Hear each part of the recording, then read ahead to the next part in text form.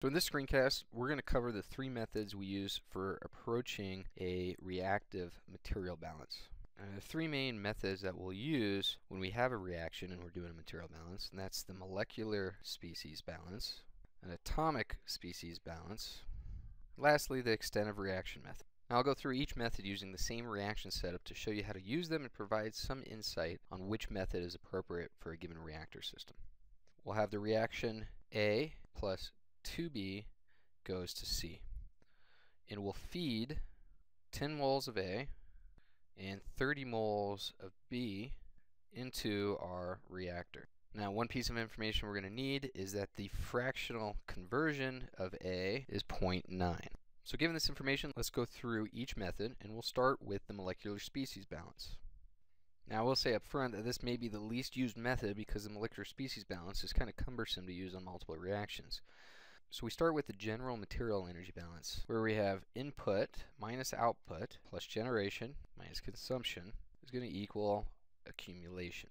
Now that's the case for all material energy balance problems. For a steady state process, we get rid of the accumulation term. So for this approach, we're left with the following. And I've written the output as the variable of interest since that's typically what we're going to look at. So the first thing we could do from our reactor setup is we could use the fractional conversion of A as 0.9 to determine the moles of A leaving. Recall that the fractional conversion is the moles of A that enter minus moles of A leaving. This is all over moles of A entering. So what's this look like with the information we're given? We have 10 moles of A entering. So all we have to do is calculate for the moles of A leaving, and this gives us Na out as 1 mole. So this means our consumption term of A is 9 moles. So if we now look at B, we could write the molecular species balance as NB in, nothing's generated, but we do have a consumption of B equals NB out. So we have to relate this consumption of B to our consumption of A. For the consumption term, we see from the stoichiometry of the reaction that 2 moles of B are consumed per mole of A consumed. Since we had 9 moles of A consumed, we plug this information into our equation. This will give us the outlet rate of B.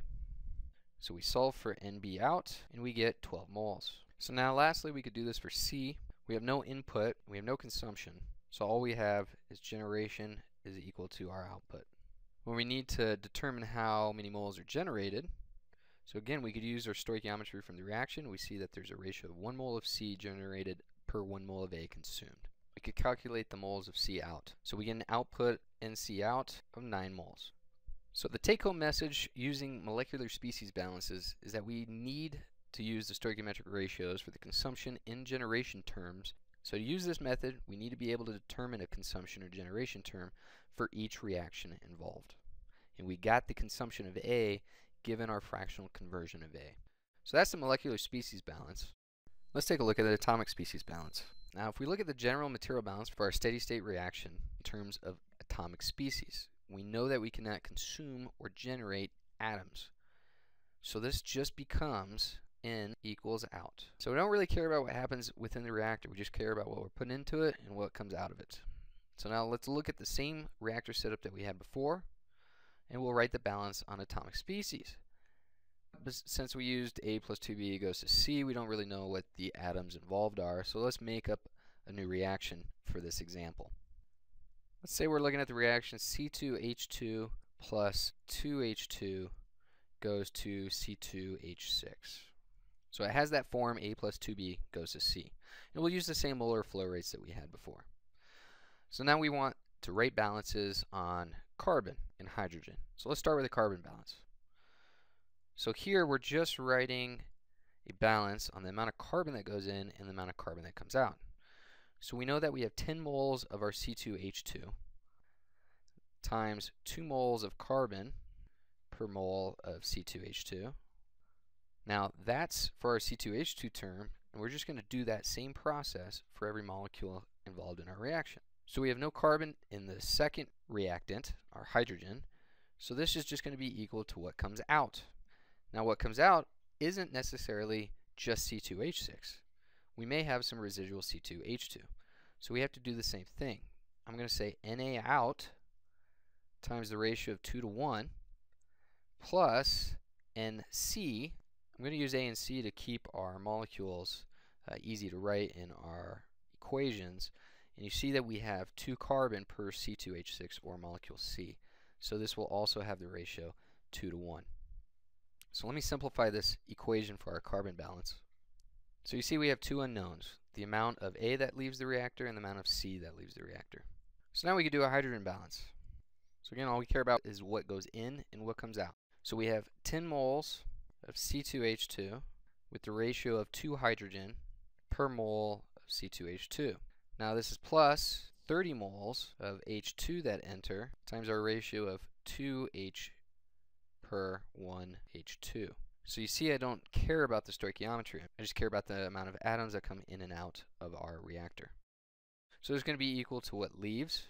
So here we have some unknown flow rate NA out times 2 to 1 plus some unknown flow rate NB out times 2 to 1 plus some unknown flow rate NC out times 6 to 1.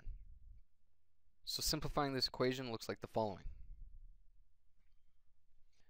So you see from our two equations, we have three unknowns. So we need another piece of information. Before we used the fractional conversion of A, and that still stands here.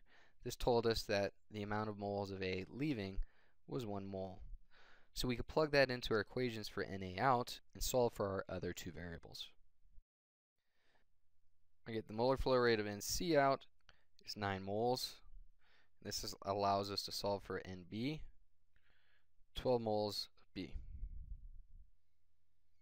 So did we get the same answer that we did before? We get 1 mole of A out, 9 moles of C out, and 12 moles of B out. So we do show that our flow rates with the atomic species balance is the same as the molecular species balance, as we would hope.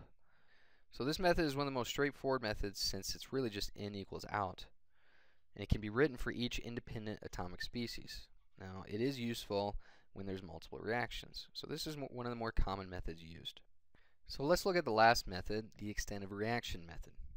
Now this method writes expressions for product species flow rates in terms of an extent of reaction and substitutes this information with a known feed or product flow rate to determine the remaining unknown flow rates.